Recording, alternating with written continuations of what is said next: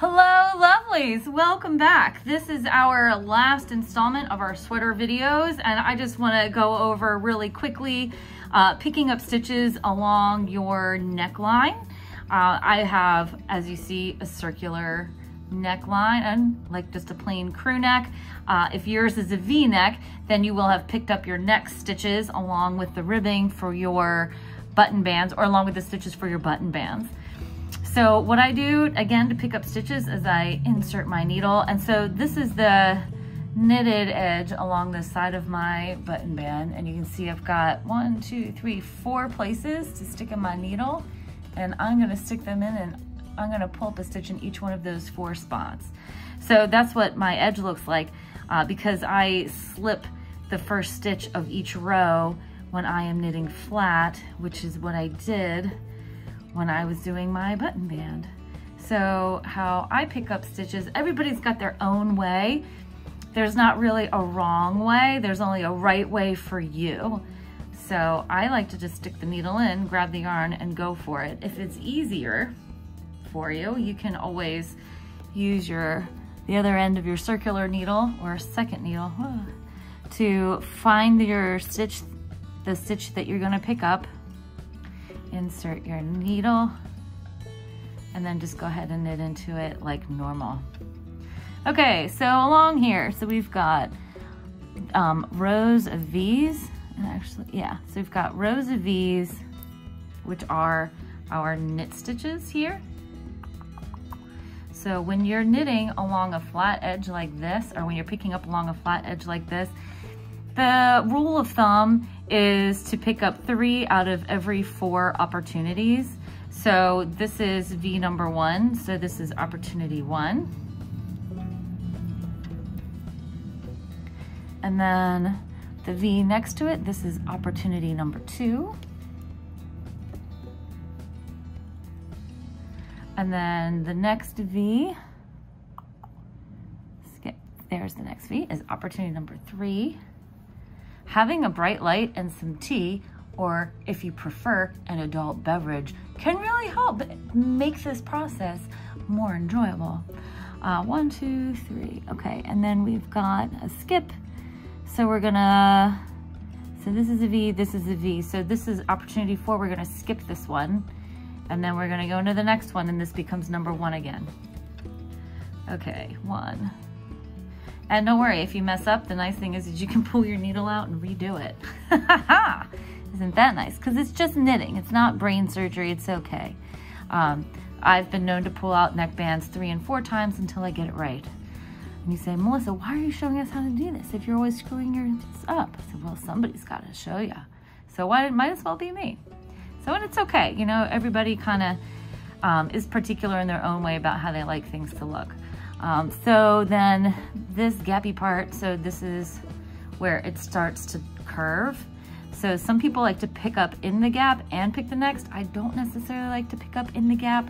Uh, that is up to you and how you want yours to look. You can pick up in the gap, see how it looks, and then take it out if you want. I've done that before. Um, I'm not crazy about picking up in the gap. I usually like to pick up next to the gap. Uh, and then the ribbing for your neck sort of cinches that shut. So because it's at a diagonal, so I've got like this diagonal edge, so I'm just gonna pick up every opportunity because the stitches are sort of farther apart. Yeah, I guess that's here. So I'll pick up here. No, I don't like that. I'll pick up here.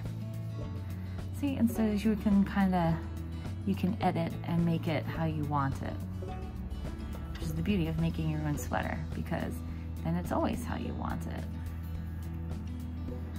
And then if you decide you don't like how it looks later, guess what? You can rip it out. do it again.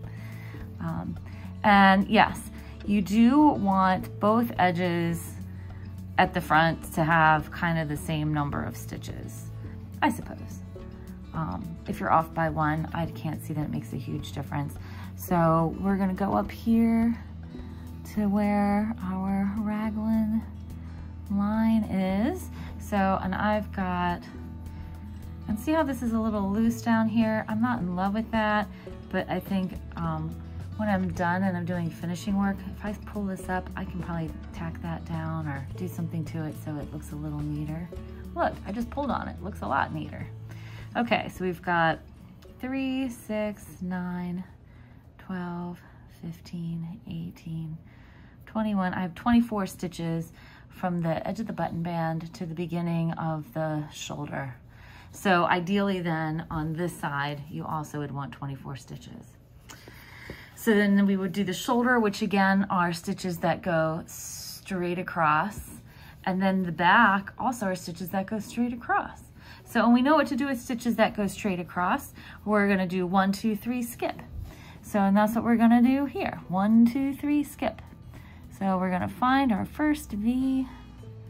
Um, I suppose we should go into this raglan because technically that is the first one. Okay, one, and here's two. So if you go into every stitch, then your collar is gonna flange out and look kind of weird.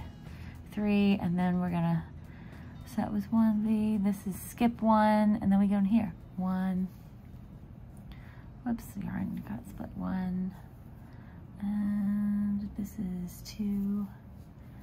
Okay, so then on my shoulder, so if this was three, six, nine, 12, 15, 18, 21, 24. So you can put a stitch marker here so you can know, um, let's do that. Let's put a stitch marker here. That's five from that end. Okay.